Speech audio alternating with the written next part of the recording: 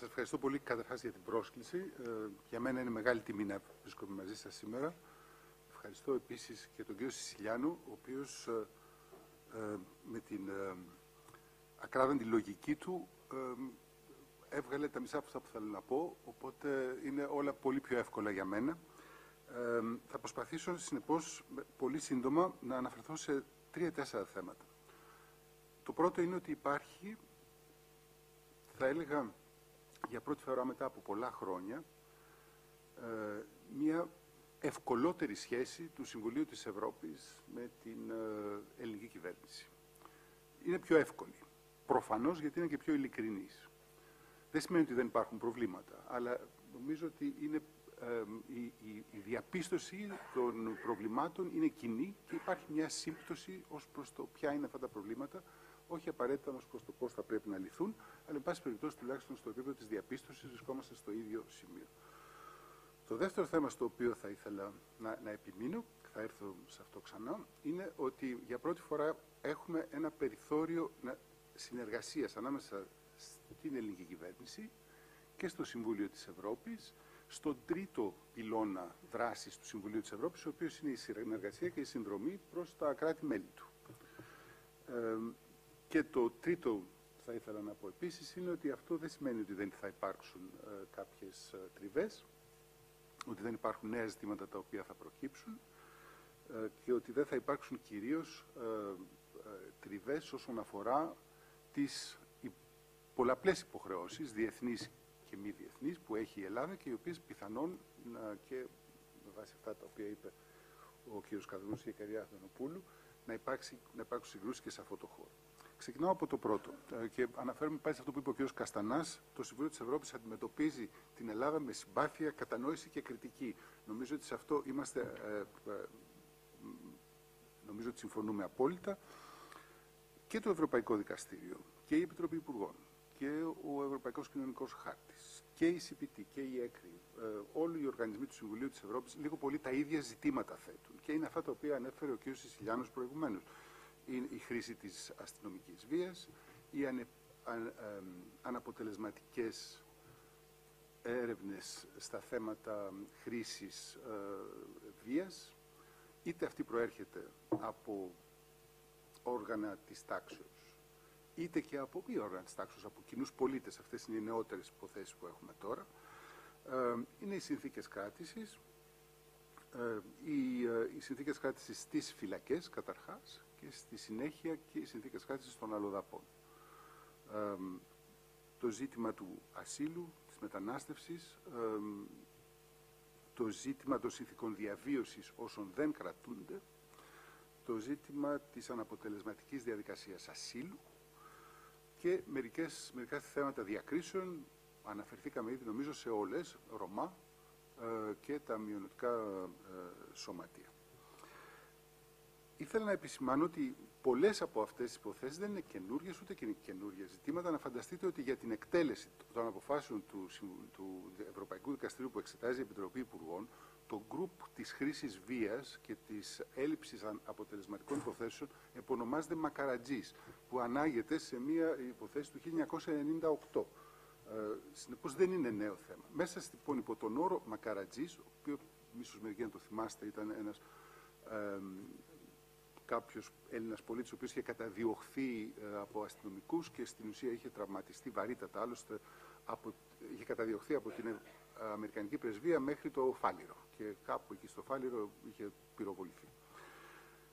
Αλλά στο γκρουπ αυτό Μακαρατζής υπάρχουν και μια σειρά από άλλες υποθέσεις, οι οποίες δεν έχουν πλέον καμία σχέση με τα ε, πραγματικά περιστατικά της υπόθεσης Μακαρατζής, απλά και μόνο θέτουν το ίδιο ζήτημα. Όπως παραδείγματος χάρη η υπόθεση Ζοντούλ, που αφορά κακοποίηση από το λιμενικό ε, ε, παράτυπου μετανάστη, υπάρχει η ε, υπόθεση Ζελίλοφ που αφορά Ελληνορώσους, η υπόθεση Μπέκου Κουτρόπουλου, η υπόθεση Πετροπούλου Τσακίρ που αφορά Ρωμά. Λοιπόν, όλες αυτές οι υποθέσεις δείχνουν ότι υπάρχει ένα πρόβλημα, αν θέλετε, βίας προς, τον, προς τη διαφορά, θα έλεγα, του, τους, κάποιου, κάποιου πολίτη ή κάποιου αλλοδαπού που παρουσιάζει κάποια, κάποια στοιχεία ευπάθειας λόγω του πιθανότητα του ότι δεν εντάσσεται πλήρως σε αυτό που ονομάζαμε προηγουμένω, ο κ. Σιζηλιάνο επίσης, Έλληνες Ορθόδοξοι κατά το μεγάλο, μεγάλη τους πλειοψηφία.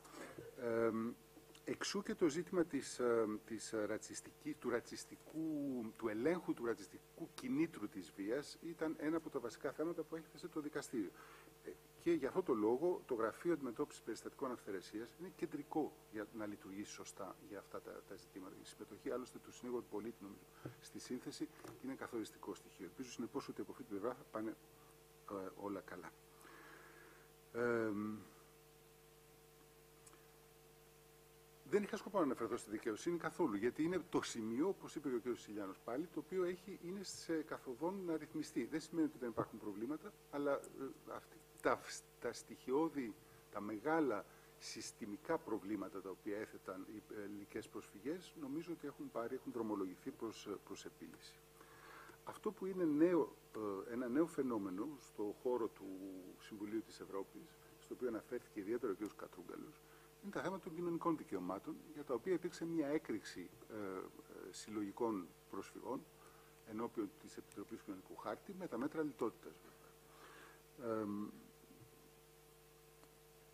και νομίζω ότι ε, αναφέρθηκαν ήδη ε, οι αποφάσεις τις οποίες έχει διαπιστωθεί παραβίαση των υποχρεώσεων της Ελλάδος στον Ευρωπαϊκό Κοινωνικό Χάρτη από τον Κοινωνικό Χάρτη του 61 σε αυτές τις περιπτώσεις όπως και αυτή η οποία θα εκδοθεί προσεχώς, φαντάζομαι μέσα στο μήνα Μάρτιο, που αφορά την προσφυγή της ΓΕΣΕ και αυτή αφορά προς κατά κανόνα τον, ε, το χάρτη του 1961. Νομίζω ότι το βήμα που πήρε η ελληνική κυβέρνηση να επικυρώσει τον αναθεωρημένο χάρτη είναι ίσως το σημαντικότερο βήμα στα προ, ε, προσχώρησης σε κείμενα ανθρωπίνων δικαιωμάτων που έχει γίνει από την εποχή της, Ευρωπαϊ... της ε, ε, επικύρωσης της Ευρωπαϊκής Σύμβασης Δικαιωμάτων του Ανθρώπου. Στην ουσία, ο Ευρωπαϊκός Κοινωνικός Χάρτης είναι το άλλο σκέλος της Ευρωπαϊκής Σύμβασης Δικαιωμάτων του Ανθρώπου, έτσι όπως τα δικαιώματα του ανθρώπου προκύπτουν από την Οικουμενική Διακήρυξη. Συνεπώς, ήταν ένα έλλειμμα το γεγονός ότι η Ελλάδα δεν είχε επικυρώσει αυτό τον, ε, το, τον αναθεωρημένο χάρτη. Όπως είναι τεράστιο έλλειμμα το γεγονός ότι πολλές ευρωπαϊκές χώρες, όταν λέω ευρωπαϊκές, εννοώ χώρες της Ευρωπαϊκής Ένωσης, επίσης δεν τον έχουν επικυρώσει, παρόλο που ο αναθεωρημένος ε, κοινωνικός χάρτης, ο στόχος του ήταν να προσαρμόσει τον Ευρωπαϊκό Κοινωνικό Χάρτη του 1961 στο δίκαιο της Ευρωπαϊκής Ένωσης. Έχουμε, ε, και για να πούμε, μια που λέμε διάφορα αστεία τέτοια. Η πρώτη χώρα που επικύρωσε τον Ευρωπαϊκό Κοινωνικό Χάρτη ήταν το Ηνωμένο Βασίλειο. Ε, υπάρχει συνεπώς μια ανταπόκριση, μια ειλικρίνεια στη σχέση μεταξύ της Ελλάδας με το Συμβούλιο της Ευρώπης. Και αυτό είναι σημαντικό γιατί ο τρόπος με τον οποίο λειτουργεί το Συμβούλιο της Ευρώπης δεν είναι ε, μόνο το να κατακρίνει και να διαπιστώνει παραβιάσεις. Υπάρχουν τρία σκέλη. Το ένα είναι η θεσμοθέτηση ορισμένων κοινών κανόνων, το δεύτερος σκέλος είναι ο έλεγχος, ο οποίος γίνεται από το Ευρωπαϊκό Δικαστήριο, αλλά και από μια σειρά άλλα όργανα, όπως η, η Επιτροπή του Ευρωπαϊκού Κοινωνικού Χάρτη, η ΣΥΡΤΕ, η ΕΚΡ κτλ. Τα οποία στην ουσία τι διαπιστώνουν. Διαπιστώνουν ότι υπάρχει ένα έλλειμμα στην ικανότητα του κράτους να ανταποκριθεί στις υποχρεώσεις τις οποίες έχει ε, ε, υιοθετήσει, τις οποίες έχει υπογράψει. Πολύ, πολύ περισσότερο από κριτική είναι στην ουσία μία έκθεση των αναγκών που έχει το κράτος όσον αφορά το, το, το έλλειμμα που έχει σε επίπεδο ανθρωπίνων δικαιωμάτων. Συνεπώς, οι συστάσεις που κάνει είτε είναι υποχρεωτικές είτε δεν είναι υποχρεωτικές, ο στόχος τους είναι στην ουσία να επιτρέψουν στο κράτος να, ε, να επισημάνει τα προβλήματα και ενδεχόμενα τις λύσεις, έτσι ώστε να μπορέσει να φέρει το σύστημά του, το δικαιικό του σύστημα, αλλά και το πρακτικό ε, και την πρακτική του, ε, πολιτική πρακτική του, στο επίπεδο στο οποίο έχει ε, αναλάβει την υποχρέωση να το φέρει. Από την δεκαετία του 90 και μετά, το Συμβούλιο της Ευρώπης, διαπιστώνοντας ότι σε πολλές περιπτώσεις τα κράτη-μέλη δεν έχουν τη δυνατότητα να πάρουν τα μέτρα που δεν έχουν τη δυνατότητα ή ότι μπορεί, εν πάση περιπτώσει, να συνδράμει ορισμένα κράτη-μέλη στο να λάβουν τα μέτρα τα οποία απαιτούνται όταν ε, διαπιστώνονται παραβιάσεις ανθρωπίνων δικαιωμάτων, έχει δημιουργήσει ένα, το, τον τρίτο του πυλόν, ο οποίος είναι ο πυλώνας συνεργασίας.